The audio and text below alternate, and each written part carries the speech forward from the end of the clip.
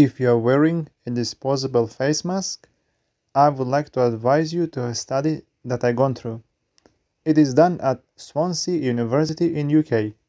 They say that there are certain toxins, certain particles and chemicals such as heavy metals, which are dangerous and terribly unhealthy for our body.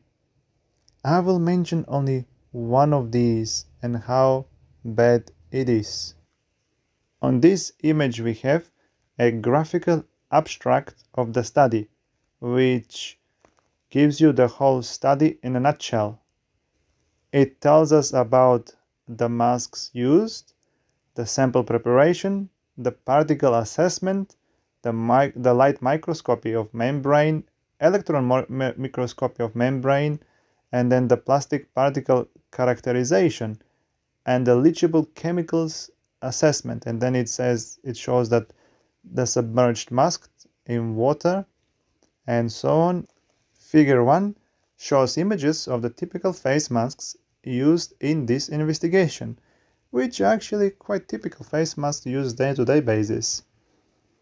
Image 1 corresponds to face mask 1 the standard plain face mask which is similar to face masks 3 5 and 6 and image 2 is face mask 2 the black color and so on. Um, now let's let's jump on the next one to see what they actually discovered uh, under a microscope. So this is light microscope images of the membrane filters post filtration of face masks from 1 to 7c taken and blank membrane at 5 times magnification.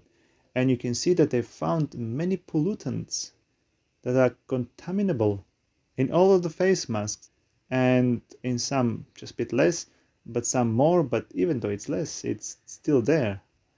Why would you want it to be there? And let's continue for the next thing. These are the highlights of the researchers that they've posted what they've done in, a, in just in a highlight but the article is actually quite much bigger a lot of information there so they investigated the impact of disposable plastic face masks, DPFs, on environment. Micro and nanoparticles emitted from disposable plastic face masks were deposited on aluminum oxide membranes. Particles emitted from disposable plastic face masks were identified as silicon-based and plastic fibers.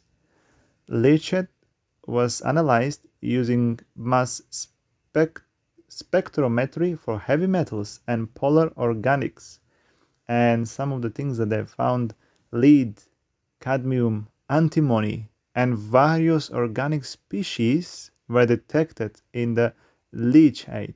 leachate. And this is the reference down there, Sullivan et al., 2021 this is very serious thing. That's uh, heavy metals. These chemicals are heavy metals, and heavy metals are very dangerous for the brain, especially, as well as the digestive organs and the blood. I will just pick one of these. You can check all of them, but I will pick one of these, which is antimony. And let's say what certain people say about antimony.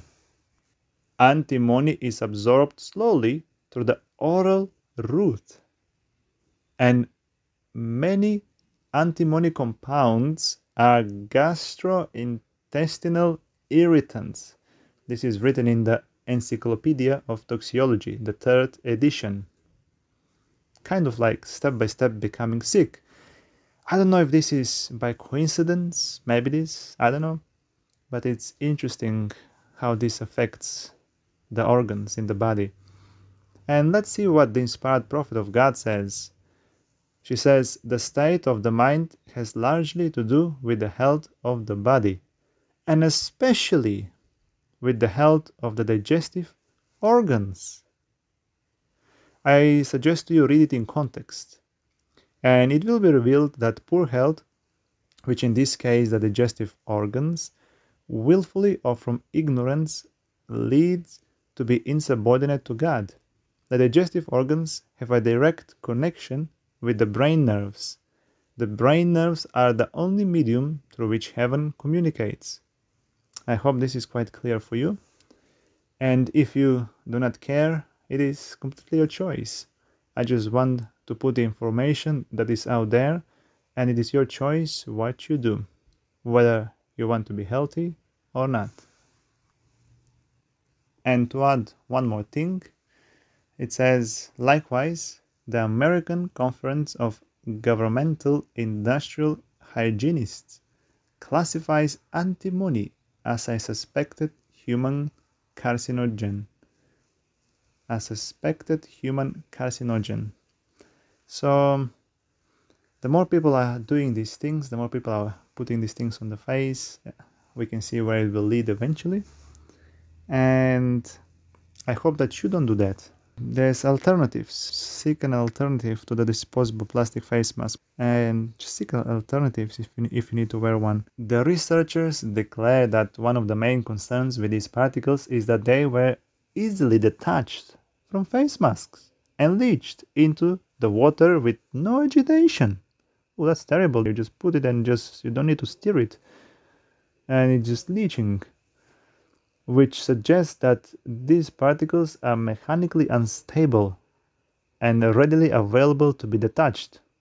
So just few breaths basically.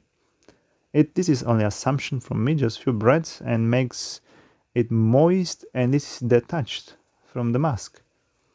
Therefore, a full investigation is necessary to determine the quantities and potential impacts of these particles leaching into the environment and the levels being inhaled by users during normal breathing. So this is what the researchers suggest a further research to be done how this is affecting a day-to-day -day life